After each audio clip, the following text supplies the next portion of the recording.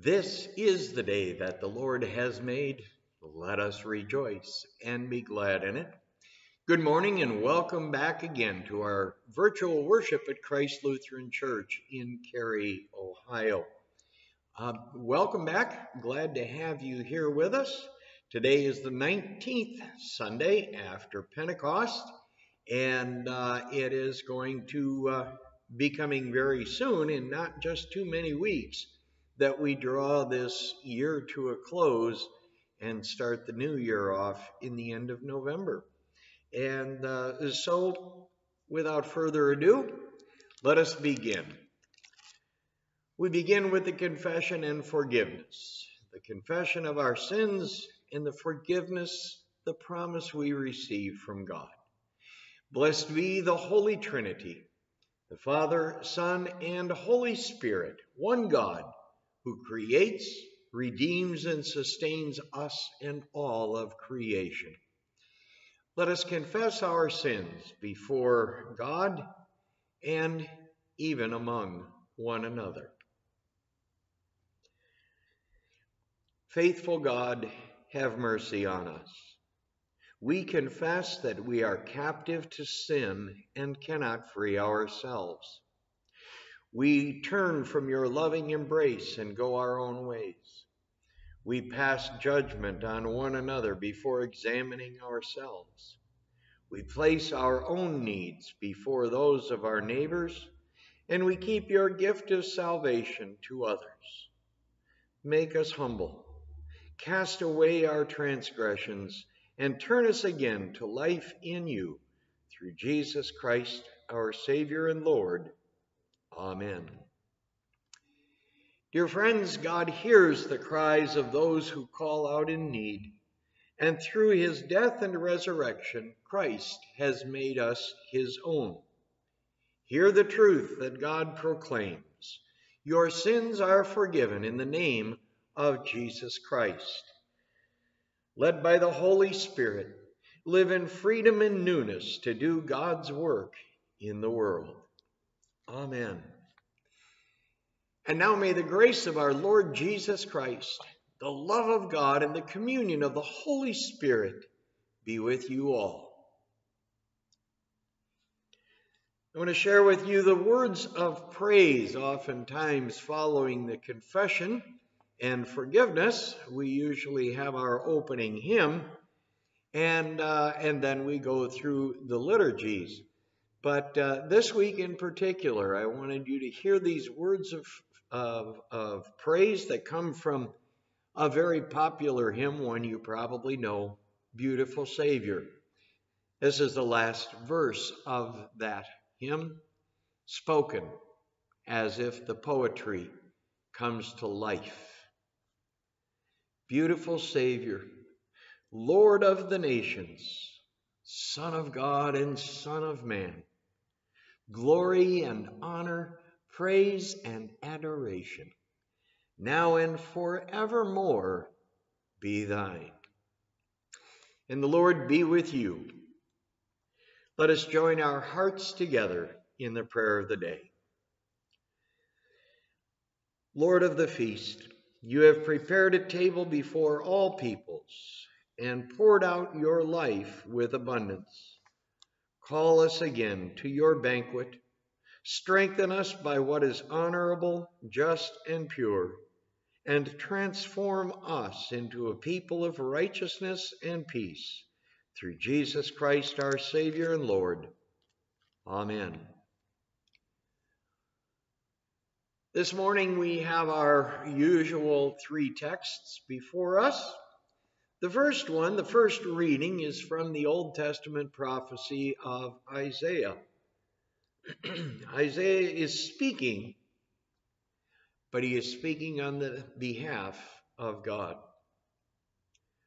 O Lord, you are my God, the prophet declares. I will exalt you, I will praise your name, for you have done wonderful things, plans formed of old, faithful and sure. For you have made the city a heap, the fortified city a ruin. The palace of aliens is a city no more. it will never be rebuilt. Therefore, strong peoples will glorify you. Cities of ruthless nations will fear you. For you have been a refuge to the poor, a refuge to the needy in their distress, a shelter from the rainstorm and a shade from the heat. When the blast of the ruthless was like a winter rainstorm, the no noise of aliens like heat in a dry place, you subdued the heat with the shade of your clouds. The song of the ruthless was stilled. And on this mountain, the Lord of hosts will make for all peoples a feast of rich food, a feast of well aged wines, of rich food filled with marrow, of well aged wines strained clear. And he will destroy on this mountain the shroud that is cast, cast over all peoples, the sheet that is spread over all nations. He will swallow up death forever. Then the Lord will wipe away the tears from all faces and the disgrace of his people. He will take away from all the earth, for the Lord has spoken. And it will be said on that day, Behold, this is our God. We have waited for him so that he might save us. This is the Lord for whom we have waited. Let us be glad and rejoice in his salvation. This is the word of the Lord. Thanks be to God. Our second reading continues in the book of Thessalonians, or I'm sorry, in the book of Philippians. Next week we'll be moving into Thessalonians. But for this week, we conclude these, these four weeks of readings from Philippians as the apostle writes these words in the fourth chapter, beginning with the first verse. Therefore, my brothers and sisters, whom I love and long for, my joy and crown, stand firm in the Lord in this way, my beloved. I urge Euodia and I urge Syntyche to be of the same mind in the Lord. Yes, and I ask you also, my loyal companion, to help these women, for they have struggled beside me in the work of the gospel, together with Clement and the rest of my co workers, whose names are in the book of life. Rejoice in the Lord always. Again, I will say, rejoice. Let your gentleness be, be known to everyone for the Lord is near. Do not worry about anything, but in, but in everything, by prayer and supplication with thanksgiving, let your requests be made known to God. And the peace of God, which passes all understanding, will guard your hearts and your minds in Christ Jesus. And finally, my beloved, whatever is true, whatever is honorable, whatever is just, whatever is pure, whatever is pleasing, whatever is commendable, if there is any excellence, if there is anything worthy of praise, think on these things. Keep on doing the things that you have learned and received and heard and seen in me, and the God of peace will be with you. This is the word of the Lord. Thanks be to God. And now we turn our attention to the gospel reading. And I want you to know this is another in a rather lengthy series of parables that Jesus is telling. And to put this into context, I want you to remember that the triumphal entry into Jerusalem that Palm Sunday celebration has already happened. And Jesus is now continuously being confronted by the leaders of the church. And so, in this reading from the 22nd chapter of Matthew, we have yet another parable. And so this is the Holy Gospel for the 19th Sunday after Pentecost, according to St. Matthew, the 22nd chapter. Glory to you, O Lord. Once more Jesus spoke to them in parables, saying, The kingdom of heaven may be compared to a king who gave a wedding banquet for his son. He sent his slaves to call those who had been invited to the wedding banquet, but they would not come. Again, he sent other slaves, saying, Tell those who have been invited, look, I have prepared my dinner. My oxen and my fat calves have been slaughtered, and everything is ready. Come to the wedding banquet. But they made light of it, and they went away, one to his farm, another to his business, while the rest seized his slaves, mistreated them, and killed them. The king was enraged. He sent his troops, destroyed those murderers, and burned their city. And then he said to his slaves, The wedding is ready, but those invited were not worthy.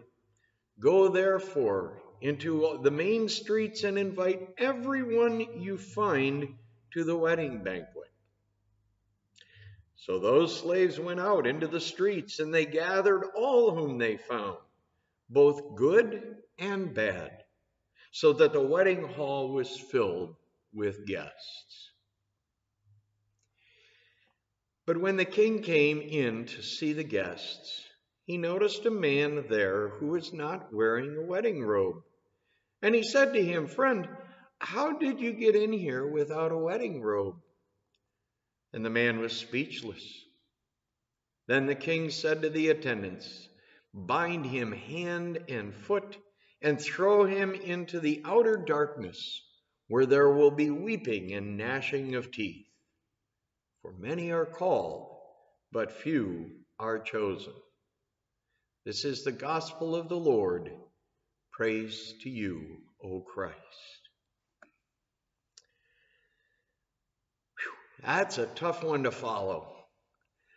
This is one of those, uh, one, one parable in particular, uh, one Bible story that I don't imagine there's going to be too many people reading to their children at bedtime. It's intended for a theologically mature audience only, if you will. In fact, without that that proper attention to the context of Jesus' time. That's why I shared what I did. I'm not sure that this particular part of the parable is conducive to Christian uh, preaching at all. Now, that sounds pretty tough, but let me give you a little more, more contemporary background. You see, when I first started out in this work, um, 30 years ago now, at that time, you had an option of ending at verse 10. I'll be honest with you, I took advantage of that. I ended the gospel reading at verse 10. Prior to that, for that matter, the verses 11 through 14 were not even an option. Apparently, over the course of time, people began to realize that there's an awful lot going on in this parable. As some people would say it, these two parables. The first of that wedding feast ending, ending at verse 10 the slaves went out into the streets and gathered all whom they found, both good and bad, so that the wedding hall was filled with guests. This is the gospel of the Lord. And that is the first part, the first parable, if you will. But for better or for worse, Jesus doesn't stop there he continues on. Now, let's go back into the, the context, if you will, of Jesus' time and place. when Matthew inscribed his accounting of this event that took place in Jerusalem during what we now call Holy Week. It comes across as a difficult text because it is all about judgment. You see, in all of these readings that we've been enjoying this summer, and I choose that word carefully, some have been a little bit tough to take, but yet by the same token, it has been an entire series. It's almost as if it's a, a, a section of a catalog for short stories as Jesus tells all these, these different things. And actually, you have to go clear back to June to recall the event known as Peter's confession. Maybe you still remember it, maybe not, but let me refresh your memory. Jesus is talking to his disciples. Who do people say that I am? And then Jesus looks and lovingly says, But you, who do you say I am? And it was then that Peter spoke up. And he says, Well, you are the Christ, the Messiah, the Son of the living God. And Jesus said, Blessed are you. To Peter and to all the disciples and all who would follow after them, Jesus says, Blessed are you. Whatever you bind on earth will be bound in heaven, and whatever you loose on earth will be loosed in heaven. You see, that was the binding and loosening. Now, Jesus went on from there, telling more of these short stories, if you will, about how the church is supposed to respond to, you know, to pointing out, you know, the, the right behavior, the wrong behavior, all of those sorts of things. But that isn't the point of the text. Judgment is very much a part of it, but we need to get beyond our human terms so that we can listen closely to what God is telling us through His Son during this holiest of weeks. Because by the end of the week, we are going to have a trial. We're going to have a crucifixion. And then we're going to have the glorious power of the resurrection. But between the, the, the binding and the loosening, the crucifixion and the resurrection, there stands in the middle judgment. We don't like to think about that too often. I know I don't. I work each day as if to be around for the next 50 years. The math is against me. But I prepare each day as if I were going to be gone tomorrow.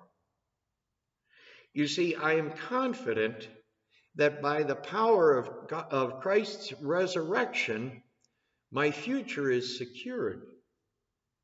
And yet, in the meantime, I strive to live my life according to the glorious calling, that one of which, you know, the Apostle Paul is in, encouraging the Philippians to live by.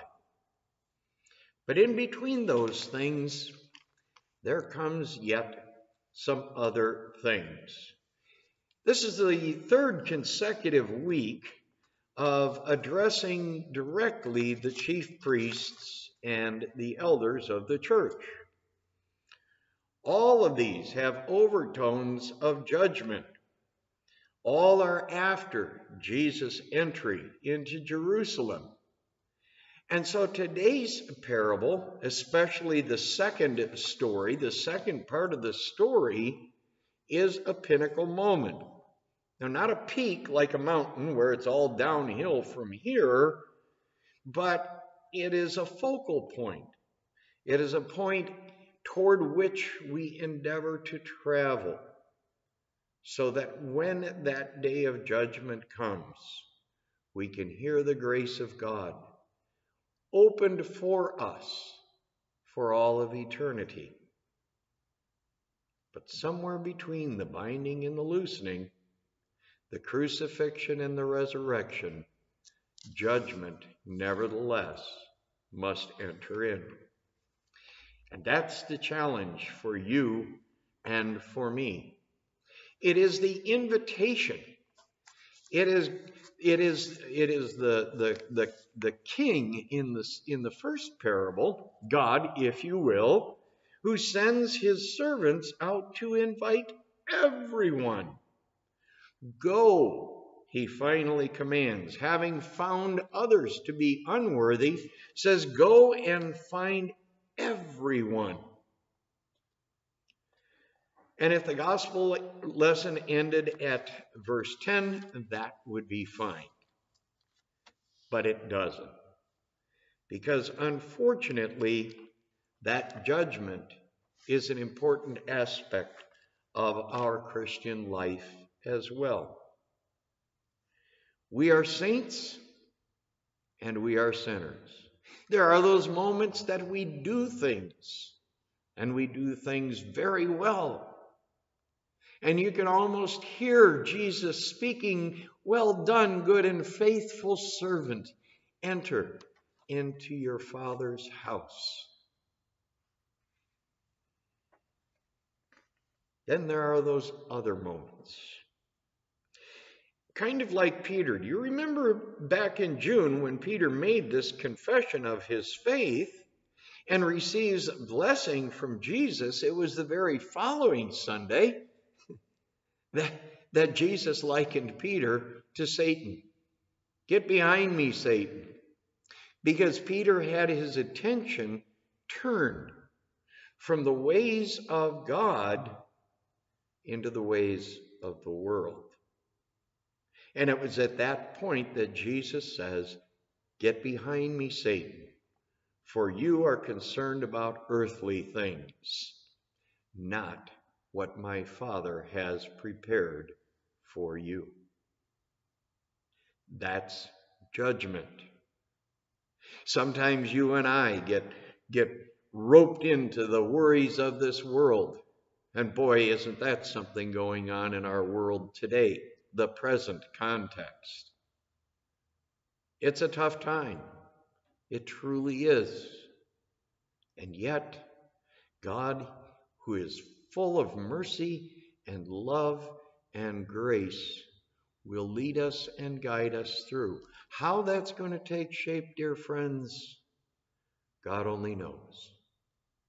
But we wait and live in hope. But we also need to come to this second part. We need to come to this second parable, this second part of the story, the part that that sometimes we wish wasn't there. But it is still God who speaks, Jesus who makes his Father known so that we have a future of hope. When the king came in to see his guests, he noticed a man there who was not wearing a wedding robe. And he said to him, Friend, how did you get in here without a wedding robe? and the man was speechless. See, this is when the, the, the focus shifts toward the judgment. Those chief priests and the elders, time and again, would cast judgment on themselves. That's what this part is representing. That is those who have not yet begun to see the glory of, of the light of God in Christ Jesus, the unity that comes from the power of the Holy Spirit, that calling from Christ to face up to and deal with the reality of the world in which we live. In short, what that man who was left speechless failed to realize is that he lacked the robe of God's righteousness. Clothed in the righteousness of God in Christ Jesus. You and I risk falling in, in, into that same trap sometimes when we let the worries of this world overcome us. Judgment comes to you, just as it does to me. But the judgment that comes upon you and me is not in our refusal of Christ's invitation, for that in and of itself is the judgment. But it's when we struggle to believe that promise and that hope to be true. One of my favorite authors is Father Robert Capon. You can uh, find his books, uh, you know, Google them, whatever you want to do, but you can find his books online. Um, couple of them, one in particular that is still near and dear to my heart is, is his little, thin little book called The Third Peacock. I recommend that. But this is actually a quote from one of his other uh, books. This is Father uh, uh, Robert Capon, Party Spirit, some entertaining principles. And it is a powerful, powerful story, but I want to quote part of this as it speaks to invitations, as it speaks to not so much our refusal of the invitation, but it's hearing that promise given as the invitation.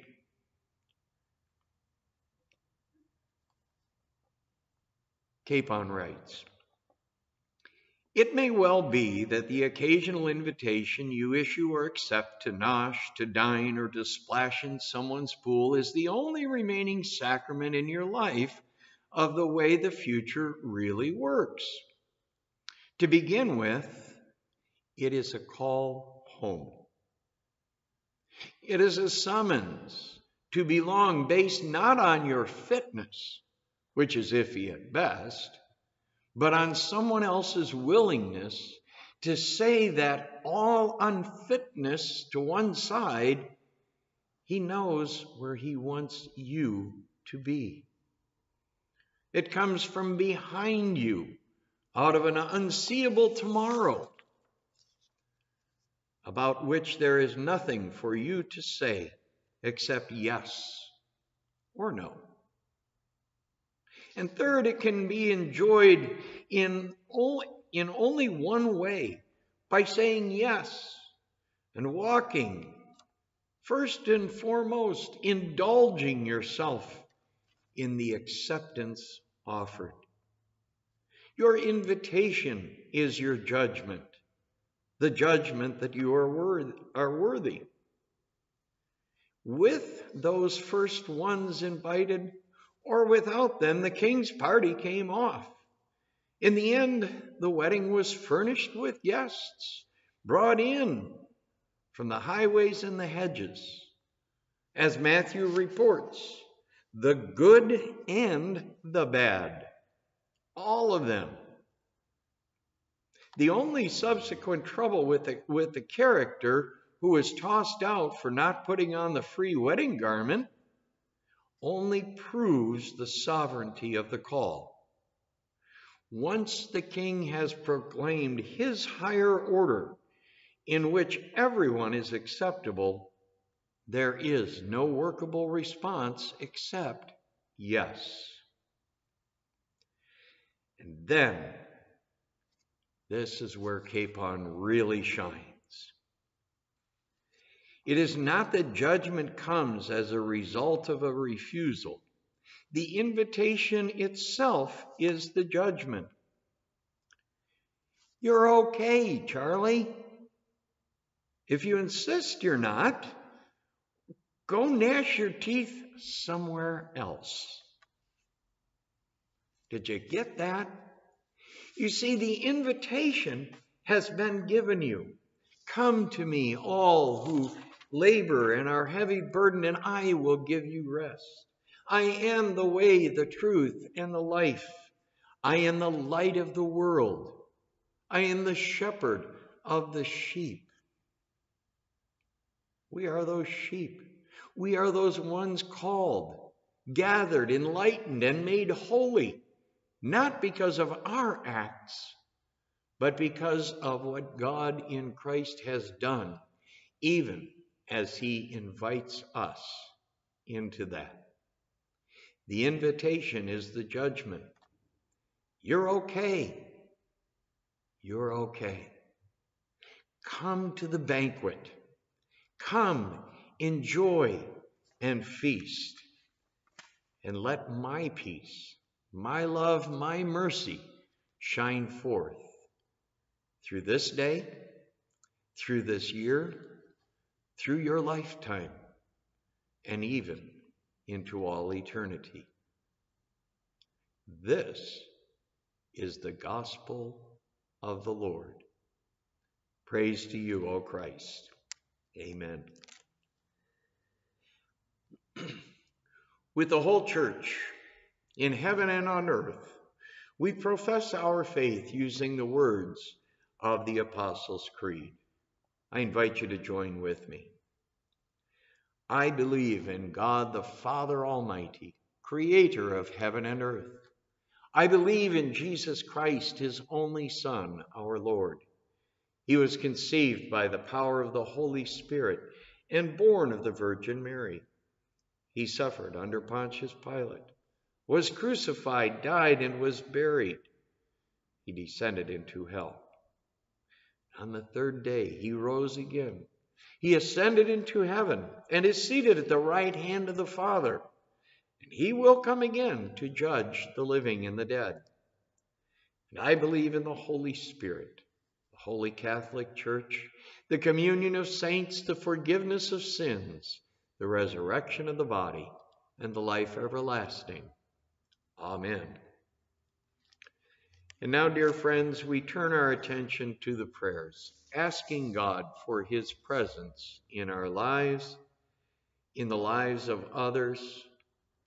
For with confidence in God's grace and mercy, we pray for the church, for the world, and for all of those who are in need. Lord of the church, when conflicts threaten within your body, lead us to seek and live the mind of Christ, and to be known for our gentleness despite our differences. Lord, in your mercy, hear our prayer. You rejoice in your good creation. Provide, provide moisture for parched places, wind and sun for flooded lands, and shelter and sustenance for creatures of every kind. Lord, in your mercy, hear our prayer. And faithful one, let your world rejoice in peace, that peace which surpasses understanding at tables overflowing with good food and drink, and where shrouds of sorrow are lifted. Lord, in your mercy, hear our prayer. God of steadfast love, let your people rejoice with faces wiped free of tears, minds unbound from disgrace, bodies freed from suffering, and souls restored, especially we pray for those whom we now name in our hearts.